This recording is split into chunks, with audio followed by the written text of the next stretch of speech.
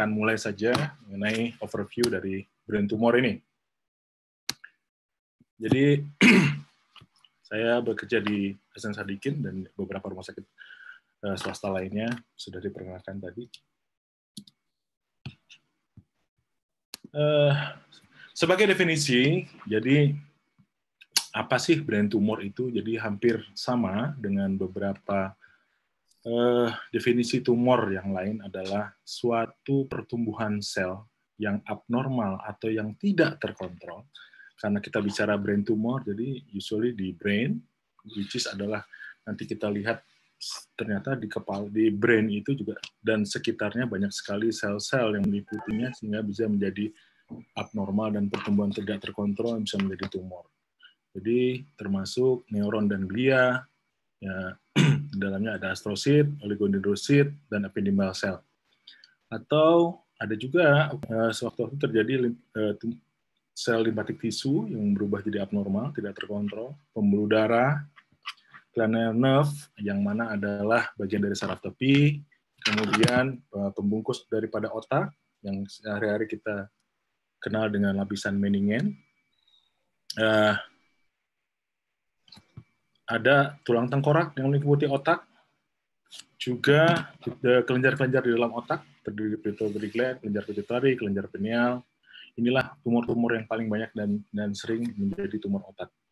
Uh, ada juga bagian tumor otak yang disebabkan bukan primer di otak, tapi bagian dari penyebaran sekunder tumor di bagian di luar otak yang bisa menyebabkan masa atau menjadi tumor di otak. Ah, seperti yang saya sampaikan, eh, kalau kita lihat eh, seperti gambaran di sini, jadi kalau kita bicara tumor otak, mungkin eh, semuanya akan terpusat bahwa bagian yang jadi tumor itu adalah bagian otak saja, gitu ya. Ternyata tidak tidak seperti itu bahwa semua sel yang melingkupi otak dan melingkupi di sekitarnya itu bisa bermutasi, bisa juga menjadi abnormal atau tidak terkontrol pertumbuhannya sehingga menjadi sel tumor. Ya, tapi lucunya ternyata tumor otak itu tidak harus selalu hiperplasia atau bertambah jumlah sel, tapi juga bisa nanti menjadi ganas, which is bukan bertambah jumlah selnya, alias menjadi nekrotik atau selnya menjadi litik malah. Jadi kalau diurut mungkin dari luar ada sel kulit, scalp. Ini mulai dari sini pun kalau tumbuh tidak tumbuhnya tidak abnormal atau tidak terkontrol bisa menjadi tumor kulit. Banyak yang kita tahu ada tumor jinak, tumor ganas nanti akan satu persatu dijabarkan oleh pembicara berikutnya. Kemudian masuk ke dalam di balik kulit ada tulang. Tulang pun bisa menjadi tumor apabila pertumbuhan selnya tidak terkontrol atau menjadi abnormal. Bisa menjadi jinak, osteoma, bisa jadi fibros displasia atau menjadi ganas osteosarkoma dan lain-lain. Nah, selanjutnya ada sel maaf eh, ada di sini kita lihat eh, ini adalah pembuluh darah ya pembuluh darah yang masuk ke dalam eh, ventricle. Jadi kalau kita secara review anatomi pembuluh darah yang yang memproduksi cairan ventricle itu adalah pembuluh darah jadi plexus choroid namanya penonjolan pembuluh darah yang masuk ke dalam rongga ventrikel ini yang menghasilkan ventrikel. Suatu saat sel ini pun bisa menjadi abnormal, menjadi tumor. Nanti kita kenal sebagai plexus choroid papilloma. Uh, kita masuk ke dalam, mungkin di bagian otaknya tadi sudah bagian luar yang mengikuti otak, sekarang masuk ke dalam sel otak. Sel otak sendiri, kita review lagi anatomi, ada sel saraf pusat, kita review lagi ada sel saraf perifer, sel saraf pusat ada neuron, ada jaringan penyokong yang berupa glia, masing-masing bisa menjadi tumor apabila terjadi uncontrol atau abnormal pertumbuhannya.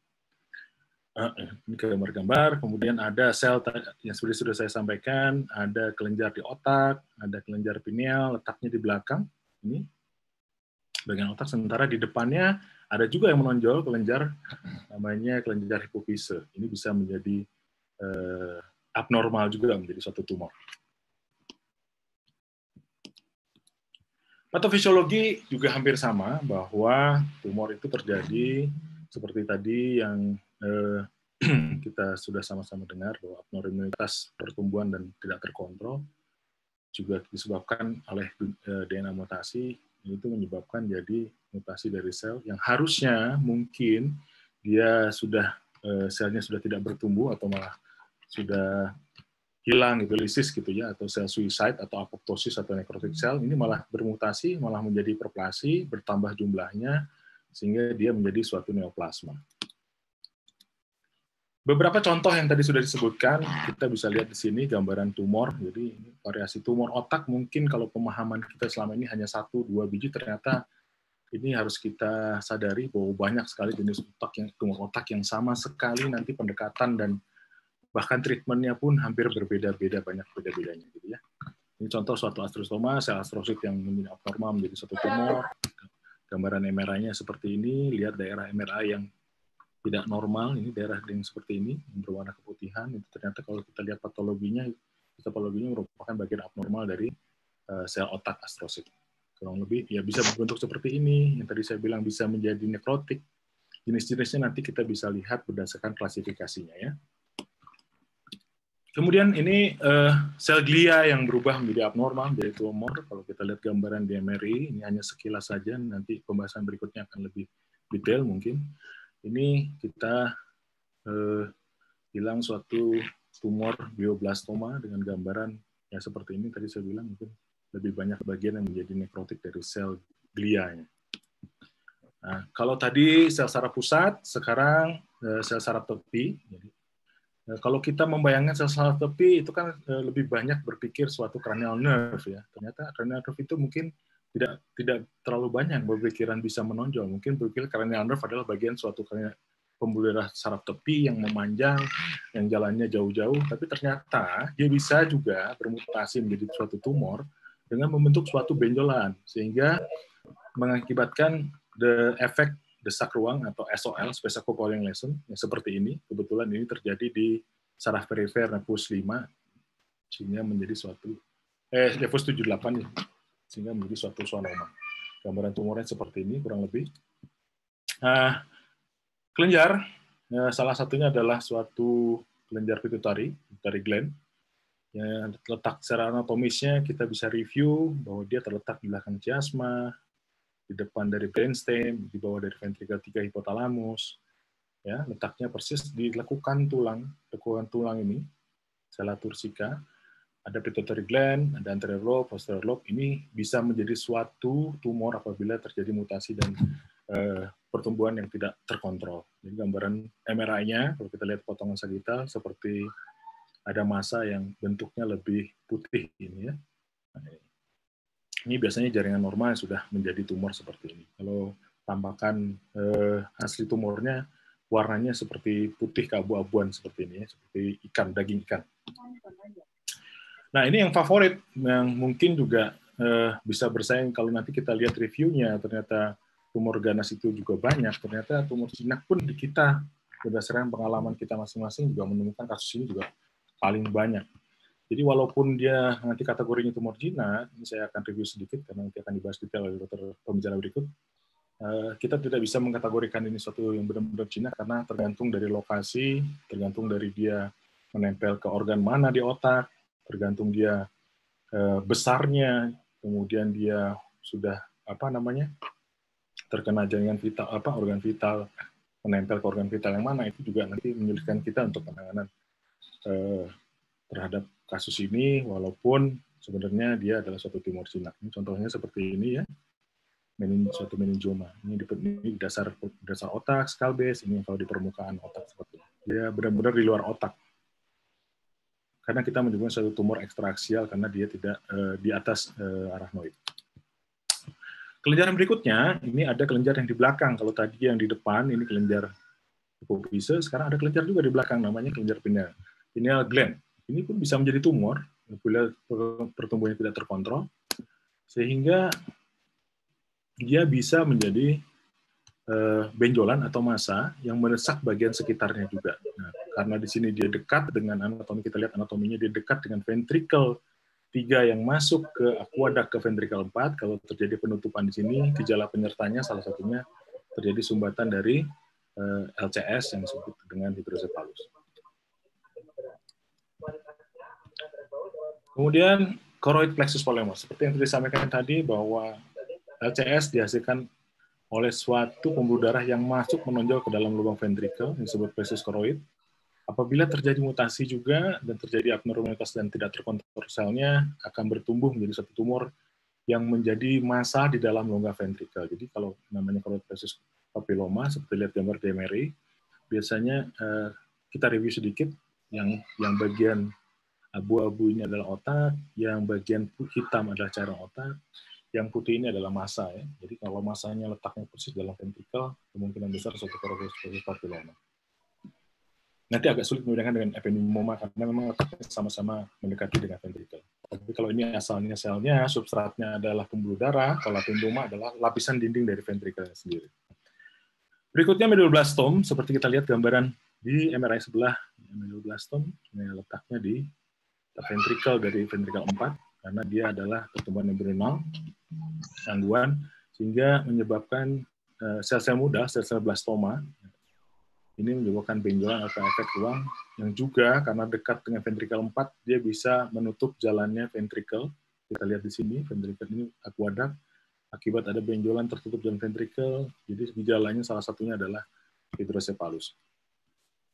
Ini contoh hemangioblastoma paling sering dia letaknya di bawah di otak kecil ya, di bawah tentorium. Nah, mungkin nanti akan dibahas ya masalah apa tentorium, apa supraten, apa infraten, karena memang pembagian salah satu pembagian tumor otak kita bagi berdasarkan supraten alias otak di atas cerebrum di atas tentorium yang ini bentuknya seperti kubah dan juga cerebellum di bawah tentorium. Jadi kalau masanya di atas kita bilang eh, kadang-kadang ada pembagian dengan supratentorial tumor, kalau di bawah namanya infratentorial tumor. Nah, ini tadi ependimoma. Ependimoma lebih kepada sel ependim atau sel-sel yang melingkup di sekitar atau sel-sel eh, rumah atau pembungkus dari ventrikel. Itu pun sel ependim ternyata bisa bermutasi menjadi tumor sehingga eh, terjadi benjolan atau efek desak ruang massa yang masuk ke dalam ventrikel. Uh, yang berikut adalah yang yang sekunder atau yang bukan berasal originally dari otak adalah metastase. Nanti akan dibahas detail di, di bagian pembicara yang ketiga. Hanya sekilas saja bahwa ada masa yang hasilnya biasanya multiple, original atau primernya bukan berasal dari otak, dari bagian tempat lain. Neuroonkologi, diagnosis dan terapi ini menarik karena memang ini khususnya beda saraf ya, memang sangat berevolusi sekali dalam waktu 20-25 tahun terakhir, termasuk neuroonkologi mulai berkembang berkembang berkembang dalam dalam masalah diagnosis dan terapi. Kenapa dia sangat challenging? Karena memang kita tidak bisa berdiri sendiri neurosurgeon. Kita sangat membutuhkan bantuan dari neurologis, neuropatologis, neuroonkologis, radiologis, radiasi onkologis, bahkan seorang dokter rehab medik dan juga kalau di luar itu ada yang namanya palliative care specialist ya untuk membantu kita bersama-sama menangani tumor otak ini karena tidak sederhana yang bisa diselesaikan oleh satu orang dokter uh, neurosurgeon saja. Uh, tumor ini penting karena memang ya sampai saat ini morbidity dan mortality angkanya cukup tinggi. Uh, nanti juga ada di Indonesia kita belum punya bank data, tapi mungkin nanti ada pembicara setelah, saya yang menyampaikan mungkin data yang hanya di rumah sakit kita biasanya saya bikin. Ada beberapa data, tapi yang saya ambilkan ini di Amerika. Jadi eh, primary brain tumornya itu 1,4 persen dari seluruh cancer kasus dan 2,4 persen dari kematian penyebab dari kematian cancer. Eh, average waktu kehidupan itu lebih dari 20 tahun apabila sudah terdiagnosa. Kemudian eh, estimasi insidensi rate dari malignant primary tumor eh, per tahun 7,15 per 100 ribu orang dewasa. Dan yang non-malignan insidensinya adalah 15,4 per 100 ribu untuk kasus yang non-malignansi. Estimasinya 119.000 untuk primary malignant tumor dan 260.000 non malignant tumor itu di Amerika. Mortality itu 16.616 kematian primary dari uh, primary malignant tumor. Sedangkan untuk metastatik, metastatik tumor ya, itu estimasinya sekitar 200.000 uh, per tahun. Ini data diambil dari tahun 2019 kalau yang tadi 2018. Nah, ini ada uh, Amerika punya ya, ya CB Teras ini data bank datanya mereka bahwa mereka mengambil 2012 bahwa memang di angkanya meningioma itu tidak seberapa banyak dibanding dengan glioma. Tapi nanti kita bisa diskusi di kita itu berdasarkan pengalaman masing-masing narasumber dan moderator panelis bagaimana apakah angka ini sesuai tidak di Amerika dengan kita dan apa penyebab ketidaksesuaian dari data yang sudah ada ini. Uh, yang di, yang diperlukan untuk suatu penanganan uh, imaging yang sangat bagus ini sangat berpengaruh terhadap penanganan uh, ini ya penanganan uh, terhadap tumor otak. Selain teknik dari operasi kemudian patologi-histologi yang baik klasifikasi molekular diagnosis saat ini yang lagi tren molekular diagnosis uh, ini juga sangat berevolusi pada saat dua dekade terakhir yang paling penting adalah itu kita harus bisa membuat suatu diagnosis yang akurat. Jadi kadang-kadang memang harus selalu diperlukan biopsi atau minimal biopsi atau kalau bisa total reseksi dan juga pemeriksaan dari patologi anatomi dari jaringan kita ambil ini sangat menentukan sekali dalam eh, masalah treatment nantinya. Klasifikasi dari brain tumor ini uh, berkembang ya, mulai dari dulu berdasarkan histopatologi, sekarang sudah mulai uh, molekular analisis saat-saat yang terbaru ini. Jadi 33,6 persen pasien dengan tumor itu uh, surviving years rate-nya itu lima tahunnya itu sekitar 33,6 persen. Uh, ada orang sudah mulai lagi meneliti karena ini selalu berkembang berkembang inilah menariknya bedah saraf masalah uh, ya terutama masalah tumor otak yang ditangani oleh bedah saraf yang tadi semua teman-teman neurologi dan segalanya bahwa memang kita sedang berkembang belum selesai 100% kita evolusi revolusi terus banyak sekali pengobatan-pengobatan yang saat ini belum mungkin satu saat nanti akan bisa menjadi bantuan untuk penanganan tumor saraf ini termasuk uh, targeted agent, dendritic cell immunotherapy, oncolytic virus, gene delivery using uh, viral vector, vaksin untuk against tumor antigen, imunoterapi dan lain-lain. Ini mudah-mudahan satu saat nanti bisa terrealisasi untuk membantu kita. Nah, ini pembagian klasifikasi nah, yang baiknya seperti yang saya bilang mendukung evolusi-evolusi dari brain tumor. Memang seperti kalau kita mundur lagi, saya tidak ambil mundur lagi, tapi rata-rata 9-10 tahun biasanya direvisi. Kalau kita lihat revisi terakhir itu tahun 2007, itu totalnya dibagi disubbukan menjadi tujuh bagian ya tumor neuroepithelial, kranial paraspinal, tumor meninges, limfoma hematopoietic neoplasm, germ cell tumor, tumor sel region dan metastatik. Kemudian Sembilan tahun kemudian dirubah oleh kesepakatan para patologi dan neurosargen, neurologis, neuropatologis sedunia, merubahnya lagi 2016 menjadi 17 subgrup. ya Berdasarkan morfologi, eh, sudah dibagi berdasarkan morfologi sesuai dengan ICD onkologi. Jadi kalau kita lihat nanti, ada pembagian eh, ICD-nya garis miring. ICD garis miring 0 itu artinya benign tumor, ICD garis miring satu artinya unspecified tumor atau borderline atau uncertain behavior. ICD O garis miring dua artinya karsinoma in situ dan grade 3 intraepithelial neoplasma. Yang terakhir adalah ICD eh, garis miring tiga itu untuk malignan tumor. Nah, ini kita lihat. Jadi pembagiannya sudah seperti ini sekarang ya, ada 17 dibagi subgroup, masing-masing nanti akan dibagi lagi. Kenapa berubah? Memang ternyata penanganan tumor, apalagi tumor ganas ini tidak bisa semerta-merta hanya operasi, radioterapi, kemo selesai tidak seperti itu. Ternyata masih banyak mutasi gen. Kita untuk masuk lagi ke dalam masalah genomnya, yang tadinya jinak pun ternyata genomnya ganas bisa menjadi ganas, itu nanti akan dibahas sedikit oleh pembicara selanjutnya ya. Ini yang saya mau tekankan lagi untuk pembagian yang baru klasifikasi ini, kita lihat yang sebelah kanan ada angka-angka, bahwa angka di sebelah kanan ini yang empat digit adalah ICDO, onkologis, garis miring garis miring 0, 1, 2, 3. 0 tadi seperti sudah saya sampaikan, untuk benign tumor, 1 untuk borderline, 2 untuk karsinoma in situ, dan 3 biasanya 3 untuk uh, suatu malignan tumor. Ya, jadi 17 tifus astrocytic, uh, astrocytic tumor, epidermal tumor, other glioma, choroid plexus, neuronal eh, glial tumor, embryonal tumor, tumor pineal, tumor uh, cranial paraspinal nerve, meningioma, mesenchymal non-meningeal tumor, kemudian limfoma, melanocytic tumor, histiocytic tumor, germ cell tumor, tumor para tumor of the cellular region yang terakhir adalah metastatic tumor. Kalau kita sedikit uh, review masalah uh, kejadian angka kejadian ini juga sama di Amerika bahwa yang paling besar adalah suatu uh, di antara semua tumor ya di antara semua tumor ini, ini berbeda sama yang tadi lagi tadi yang itu ternyata meningioma itu ada 36,1 persen, kemudian yang kedua adalah glioblastoma. Nah, di antara tumor intrinsik suatu glioma, ternyata yang paling banyak adalah glioblastoma multiforme, diikuti oleh diffuse astrocytoma 8,9 persen.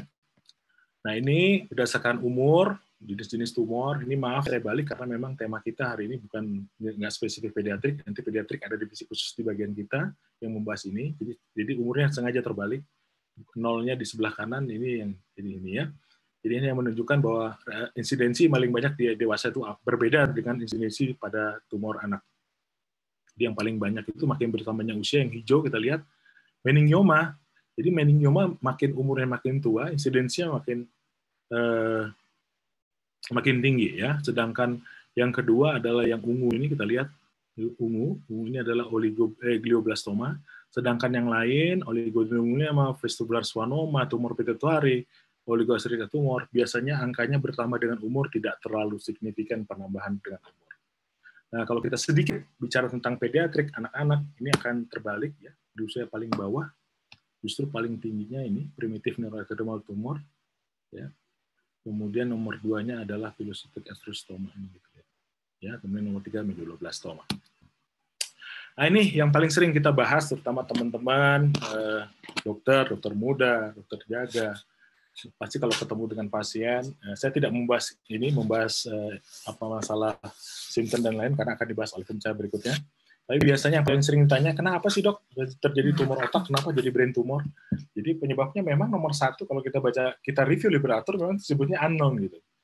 Jadi kalau dibilang genetik, herediter itu nggak terlalu besar angkanya, 50 5 sampai 10 persen saja. Genetik seperti NF1, neurofibromatosis tipe 2, tuberculosis itu hanya meningkatkan angka kejadian apabila terjadi meningioma. Kalau memang dari genetiknya sudah punya NF1, NF2 atau tuberculosis. Kemudian mutasi embryonal ini juga sama, sel muda, sel blast ini ya juga paling sering juga terjadi etiologi jadi tumor. Nah, sedangkan hanya radiasi, virus, bahan kimia ini substansi karsinogenik angkanya saya tidak menemukan, tapi memang ada beberapa literatur menyebutkan ini menambah risiko juga. Nah, sedangkan yang sudah pasti apabila terjadi tumor paru, payudara, kolon, testis, ginjal, dan tiroid, ini juga kita harus sudah aware bahwa suatu saat akan bermetastase ke otak, ini menjadi suatu brain tumor. Gejala klinis hanya review sedikit, ya. Jadi hampir semua sama gejalanya adalah tekanan tinggi intrakranial. Apa saja? Memang variatif, tapi biasanya dan paling sering untuk kita review adalah sakit kepala, kejang kalau memang dia mengenai suatu korteks, meliputi korteks yang banyak, perubahan mental status, hemiparese kalau dekat daerah motorik, muntah karena terlalu tinggi tekanan intrakranialnya, dispasia, kemudian eh, penurunan visus kalau memang dekat dengan saraf nervus 2 dan lain-lain, hemianopsia kalau dekat dengan chiasma opticum, dan pasti kalau apabila terdapat efek desak ruang yang mengenai saraf perifer. Ya, jadi kejadiannya bisa di frontal, di di mana pun di semua sel tuh yang ada sel tadi kita review di depan itu bisa bermutasi atau bisa uh, tidak terkontrol pertumbuhan selnya menjadi suatu uh, tumor atau brain tumor. Saya rasa uh, untuk overview saya cukup demikian. Nanti kalau memang ada pertanyaan atau diskusi bisa kita lakukan di sini. Kalau memang masih ada waktu, selanjutnya waktu saya serahkan kembali ke moderator Dr. Firman. Terima Baik, kasih. terima kasih atas presentasinya yang menarik Dr. Roland.